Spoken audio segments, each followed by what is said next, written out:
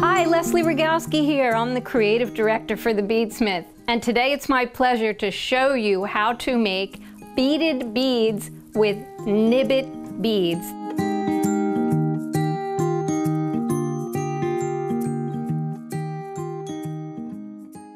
I'm going to show you some of the different kinds of nibbits that are available, and then I'm going to take you bead by bead, step by step, through the making of a single beaded bead. And after that, it's up to you how you put them together. Two-hole nibbits are little triangular shapes with two holes in them, and they come in a myriad of colors and finishes. You have pastels, nebula in opaque, shiny, and matte. Tweedies, which I really like, they have this texture to them, like a granite finish on them in lots of different colors. The latest and greatest, Nib-Bit Duets, which like our other duets have the two colors, so think about the design potential of those. Metalust, yummy yummy, very metallic looking and shiny, and a variety of opaque colors. And this is just uh, just a fraction of the things that are available to you. So as you make your beaded beads in our tutorial, just think about the color play that you're going to be able to bring into your work with the nibbits.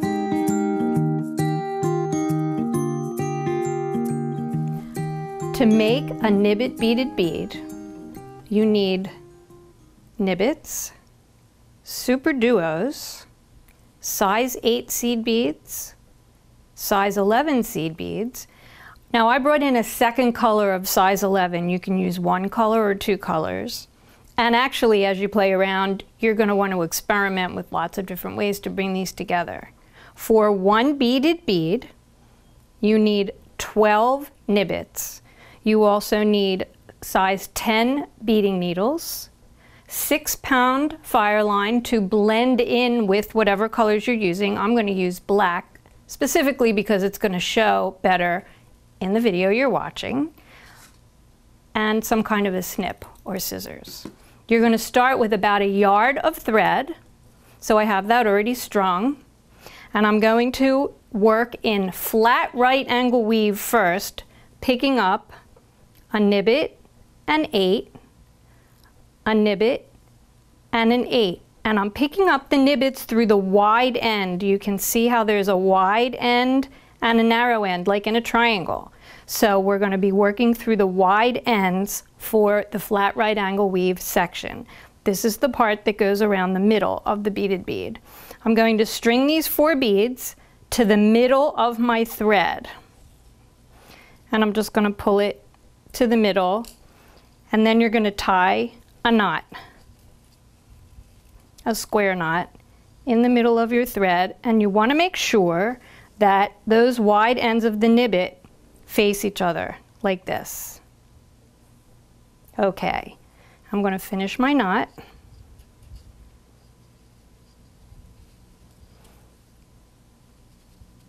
And I'm stringing it to the middle because you're going to use one side for one half of the bead and one side of thread for the other half. So now I have my working thread coming out where the knot is. You want to pass through the size 8 bead. So you have your four beads. Now I'm going to pick up a nibbit through the wide end, a size 8, another nibbit through the wide end. So I have a nibbit, an 8, and a nibbit, my thread is coming out of the eight already strung and I'm going to work in flat right angle weave. So I'm going around in a circle, back through the size eight. And I'm going to make sure that the wide ends sit together. And now I'm going to go through, continue my circle like in flat right angle weave. I'm going to go through the nibbit and up through the eight again. And you always want to make sure that those wide ends stay together like that. You don't want them to flip because it's going to make your beaded bead looser if you let them flip when you try to tighten it up. So there I'm going, continuing my stitch, and I'm going through the size 8. Now I'm going to pick up another nibbit, size 8, and nibbit through the wide end. Now I'm going in the opposite direction. So you're going to work in flat right angle weave, picking up nibbits in size 8s.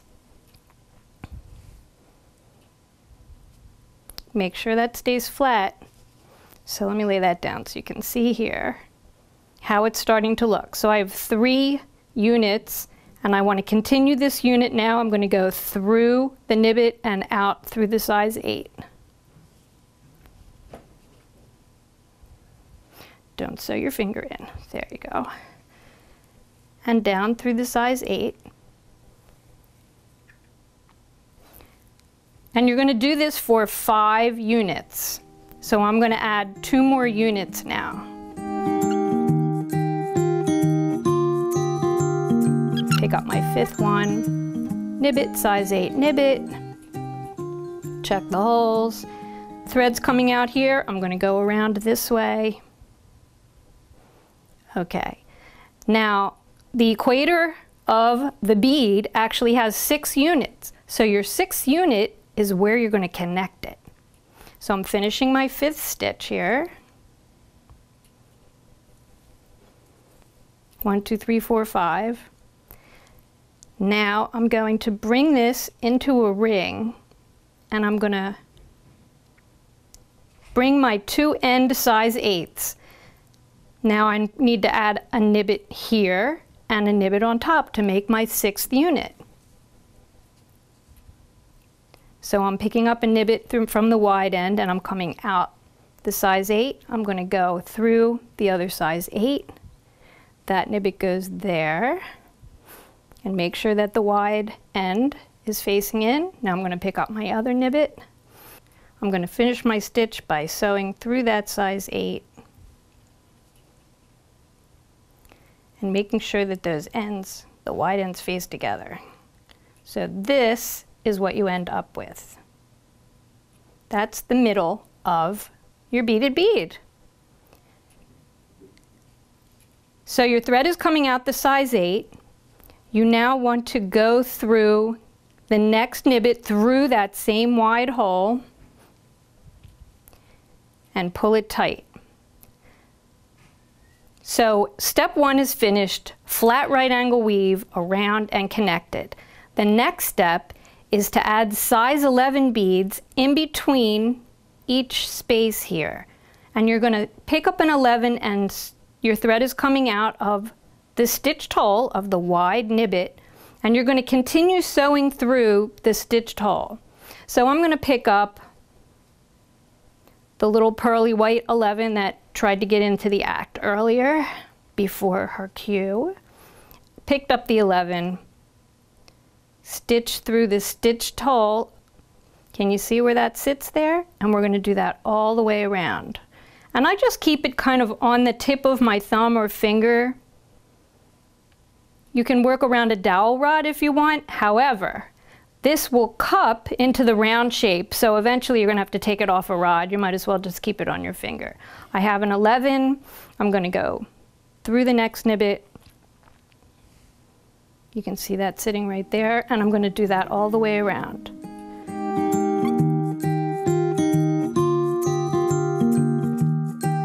Another 11. This is my last one for this round. When you go through the nibbit, the last nibbit, you also want to make sure that your needle then goes through the next 11 and the next nibbit after that. And this is just so that you complete a round and you want to tug that as snug as you can. Now we're going to step up because we're going to need to get to the holes at the pointy ends of the nibbit. So all I'm going to do is bring my needle up and go in reverse direction through that hole.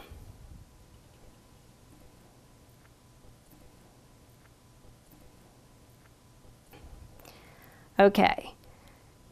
That round is finished. You've added size 11s on that side of the beaded bead.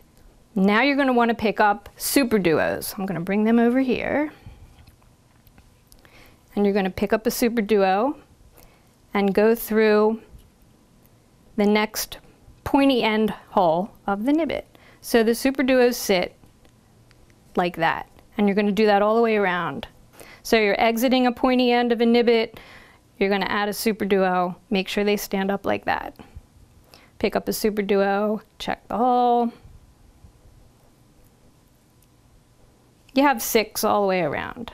So in total, each beaded bead uses 12 super duos. Six on each side. One, two, three, four, five. And make sure, did you see how I gave a yank so that they're standing up so that the threads are not twisted when you add your super duos? Now I have my last super duo and I'm going to go through the nibbit and the first super duo that I added in this stitch.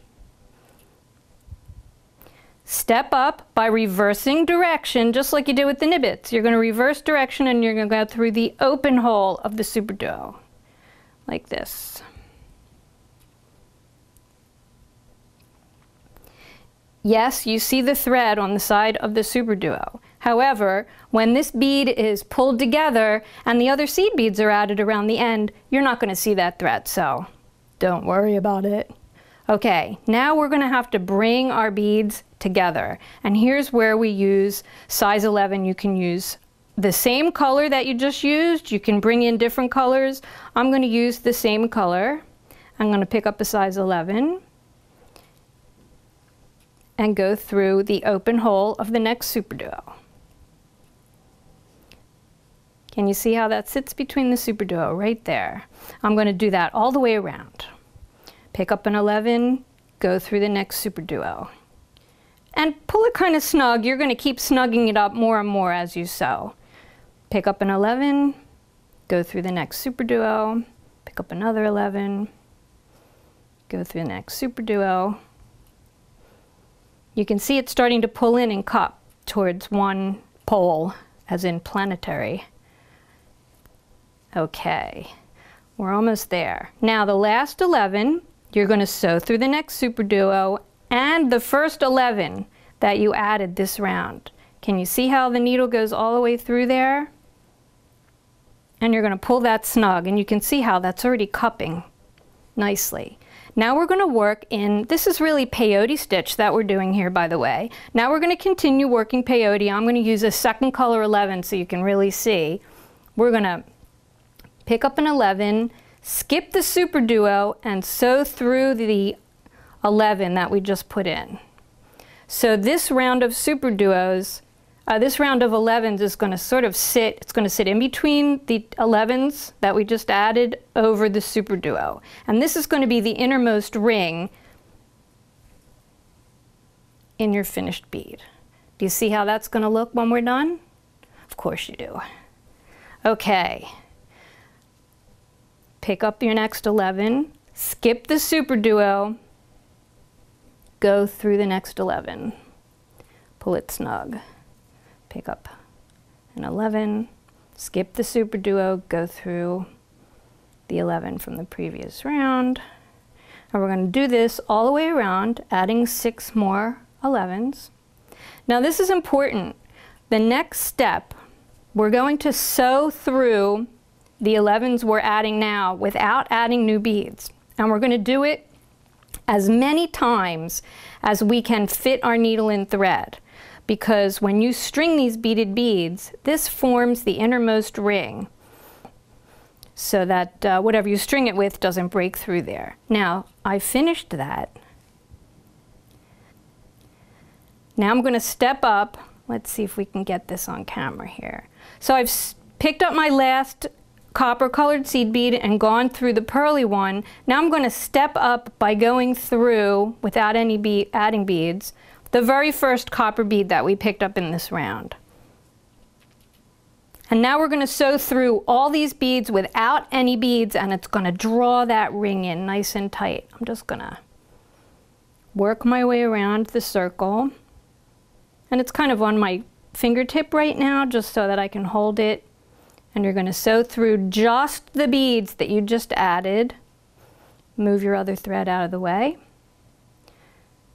So you can see that those six copper beads are pulled in nice and tight. And you are going to keep going through those beads around and around this ring as many times as you can. I found that I could get my needle through two of them at a time. It's easy to see when you have the different colors for that inner ring. Be careful when you're doing this not to split the thread either. You just want to do this until it you really can't get your needle and through the beads. Don't force it or you'll break a bead but I am not going to knot. I'm not going to weave this in anymore um, because the tension that's being formed by going through the same beads over and over and over again is going to be really nice and snug. Your beadwork is not going to come undone. So you're going to do that as round and around as many times as you can. Then you're going to take your snip. Your bead is half done. Now, you have the thread on the other side. All right, so you have your half a bead and your thread is coming from a knot. You don't want to start beading from a knot. You want to go through a bead before you continue. So I'm coming from that size 8 and I'm going to pick either either side, either nibbit the stitched hole through the wide end without picking up a bead and I'm going to sew through and now the next step is right picking up size 11s and putting them in between the nibbits. So here we go again. I'm going to pick up the purl size 11. You're just reflecting what we did on the other side. And I'll put it on my thumb there to, so you guys can see. Make sure that those wide ends stay together of the nibbits so it stays nice and snug. So I'm adding in 11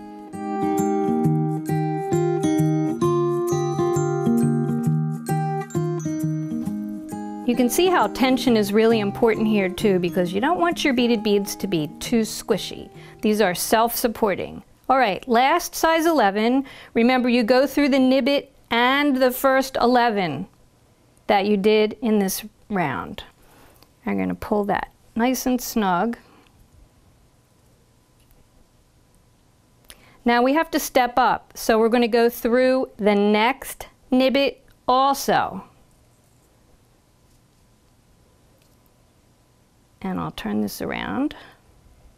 So now we have to go in the opposite direction. We're coming from the inside wide end hole. Now we're going to reverse direction without adding a bead and we're going to go through the outer hole of the narrow tip of the nibbit in the opposite direction. And now the next thing that we pick up are the super duos. Again, remember to check the holes of the two hole beads and you're going to add super duos in between all of the nibbits. There we go. And you can hold these, whatever's comfortable for you. Right now I'm trying to hold them to show you guys how this is done. Um, I'm not holding it up to my face or um, switching direction. Super duos between each nibbit, just like that. Working around. Can you see how they sit? and I'm holding it, I'm going to hold the thread tight between my fingers so you can see how they sit as I finish doing this. Through the narrow hole, make sure you're not getting your thread caught on any of the other beads and you're going to continue around. This is so fun when you see it start to really come together. And you're going to add the last super duo going through the nibbit and the first super duo added in this round, just like that. Now you're going to step up by sewing in the reverse direction through the open hole of the super duo that you just exited. Just like that. So again, you're going to see the thread on the side, but it's going to be hidden. We're going to start to close up the other pole of our little bead here by adding 11s and like the other side, I'm going to add this color, the pearly color first. I'm going through the Super Duo. Pick up another 11, go through the next Super Duo. You're going to do this all the way around. Yeah, they get a little floppy, but you can find the, the open hole there to stitch through. All the way around, six all together in each round. One, two, three four. Okay. And then we're going to pick up the last 11 in this round. We're going to go through the Super Duo and the first 11 picked up this round. You want to complete the circle and get ready. Look, you can already see how that's cupped in. Now we're going to add the copper beads like we had on the other side. And we're going to work in peyote. So you're coming out of the 11, you're going to pick up another 11. I'm picking up the copper and you're going to skip the super duo and go through the next 11. And you're going to do that all the way around. Come out of an 11, pick up an 11, skip the super duo, and go through the next 11. Like that. You pull it nice and tight and work all the way around. Remember to skip the super duo and just go through the 11s. This is peyote stitch. So the new beads that you're picking up are really sitting kind of at the tip of each of the super duos and they may slide off to the side, but when you do the final round and you go through them again, they're gonna sit in position. Okay, almost done this round. Once the new and last round of 11s are added, and there's just six of them, here we go. You wanna make sure after you go through the last 11 from the previous round that you step up and go through that first copper bead or the first 11 in the round that we're stitching. Make sure that they're not stuck on anything. Now you're just going to sew through the beads you just added, around and around and around, all six beads, pulling that as snug as you can. And you're just going to fill those beads with, with as much thread as you can, so that just the tension of having that much thread it's going to finish off your beaded bead and give you a nice ring of thread to support your bead when you string them. So you're going to keep going around and around and around to get your beaded bead like this.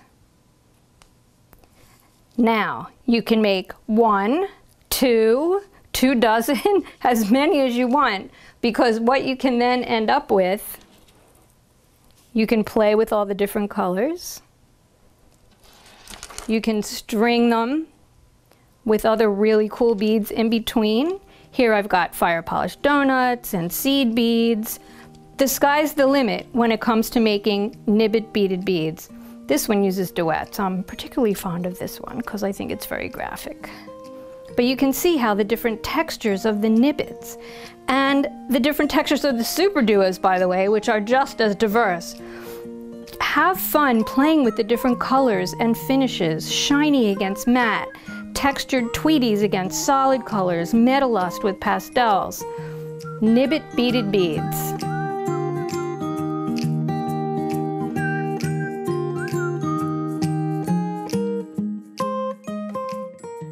So now you know how to make one beaded bead, you can make as many as you want. And remember, you'll find Nib-Bit beads and other quality beadsmith beads, tools, and supplies from your favorite bead vendor. I'm Leslie Rogalski, Beadsmith Creative Director saying, happy beading!